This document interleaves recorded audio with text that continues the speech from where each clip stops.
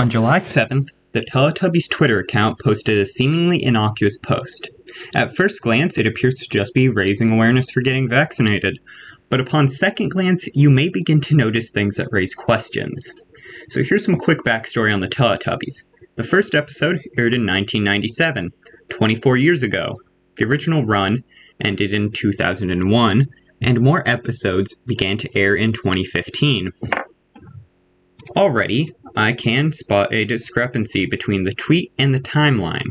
The Teletubbies are shown to be 18 in the tweet, a feat which would be impossible if these were the same Teletubbies from the original run, seeing as it would have ended before these Teletubbies were even born.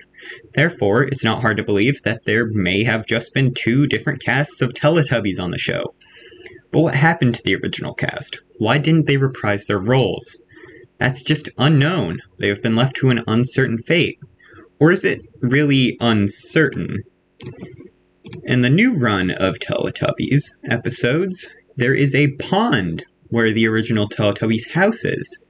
Now, I'm not going to suggest that a sinkhole consumed the original Teletubbies in their abode, which then filled with water over the coming years between runs, but you can make your own decision with that information. Let's move on to other information given to us in the tweet. There is at least 93,755 Teletubbies in the world, shown by their patient number, which may seem like a lot, but consider that there is 7.6 billion people on Earth. Billion, with a B, not an M, B.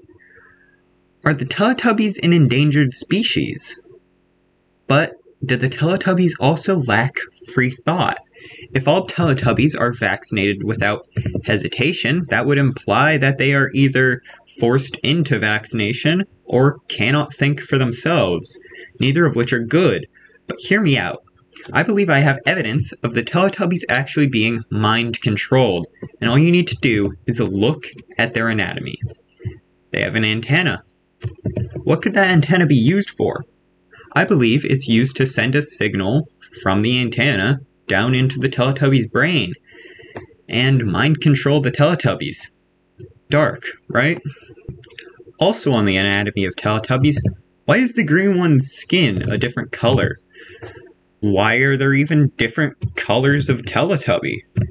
Is there Teletubby racism? It was at this point that I discovered a fifth character list- listed Noo-Noo. Noo-Noo, the group's sentient vacuum cleaner.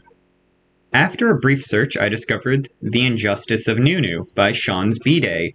After listening to this song, I came to the conclusion that Noo-Noo is not actually a pet, but rather a slave. That's right, I believe Noo-Noo to be a slave, and the Teletubbies to be slave owners. So not only are they being mind controlled, but they're being mind controlled into being slave owners yeah, the lore of Teletubbies is indeed quite dark, and this is without going into the aliens, the crossover multiverse theory, the time travel theories, and all the other wacky theories that just seem to exist because someone at uh, the Teletubbies Twitter account doesn't know how to keep the right dates. But, anyways, I hope you appreciate the video if you've watched this far. I want to say thank you because I did work really hard on this and I appreciate you watching it this far. I'm not going to tell you to like and subscribe or whatever, but if you want to, I'm not going to force you not to. But that's enough of this stupid shit. Uh, so goodbye. That's it. Goodbye.